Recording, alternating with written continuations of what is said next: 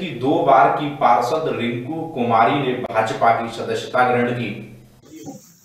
पत्रकार मित्रों को नमस्कार करते हुए आज की इस महत्वपूर्ण ज्वाइनिंग में, जहाँ हमारे पार्टी में परिवार के अंदर एक बढ़ोतरी हुई है और इस अवसर पर कांग्रेस की बहुत ही वरिष्ठ नेता और वर्तमान में भी निगम पार्षद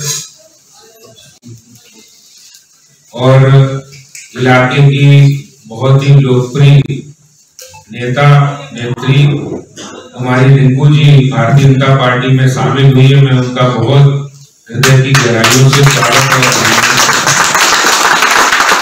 अभी जैसा परिचय में बताया गया कि स्वर्गीय रूपचंद जी आपके पिताजी थे और वो भी कांग्रेस के विधायक रहे नगरी से।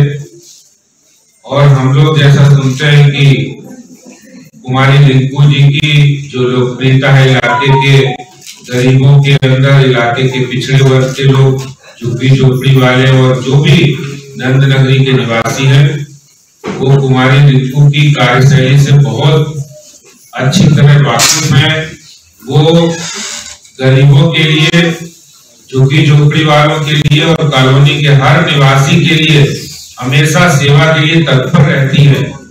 और शायद यही कारण है कि उनको अब हमारे देश के प्रधानमंत्री श्री नरेंद्र मोदी जी के सेवा के संकल्प में उन्होंने अपना विश्वास भारतीय जनता पार्टी में व्यक्त किया।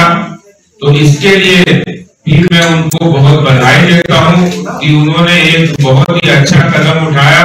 जब सेवा भी राष्ट्रवाद भी और देश पहले है, जनता की सेवा करना, ये संकल्प के साथ कुमारी रिंकू जी आई है, मैं उनका बहुत स्वागत आज के इस अवसर पर हमारे साथ उपस्थित पार्टी के बहुत ही वरिष्ठ नेता, जो वर्षों वर्ष दिल्ली के सांसद भी रहे हैं, केंद्रीय मंत्री भी रहे हैं, अटल जी के साथ और मोदी जी के साथ जिन्होंने मंत्रालय में काम किया है। और इसके साथ ही साथ वो आज हमारे बीच में है, ऐसे आदरणीय विजय गोयल जी। पार्टी की वरिष्ठ नेता और पूर्व में राष्ट्रीय मंत्री और दिल्ली की मेयर रही।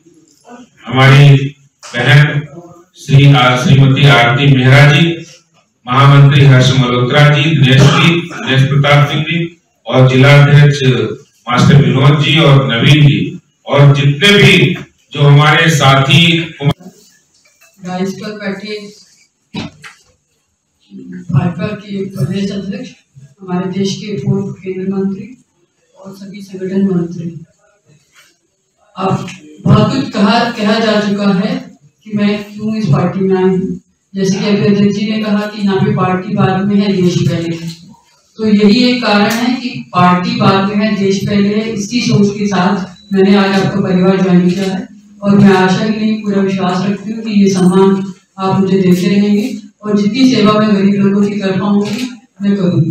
मेरे साथ मेरे साथ मेरे साथी संजय गोयल जी भी हैं, गोविंद अग्रवाल जी भी हैं, पाल साहब जी भी हैं। मैं उनका भी बहुत बहुत धन्यवाद करना चाहती हूँ कि वो इस जाने में मेरे साथ आए और नंदनगिरी के सभी जनता को, चाहे वो बजरंग दल के लोग हों, चाहे सेवा दल के लोग हों जितने भी ब्लॉक प्रेसिडेंट बाकी हैं, और महिला शक्ति जो मेरे साथ आई है, मेरा बल बढ़ाने के लिए उनको मैं धन्यवाद करना चाहती हूँ। और आशा दिलाती हूँ आपको कि आपको मेरी तरफ़ से कोई भी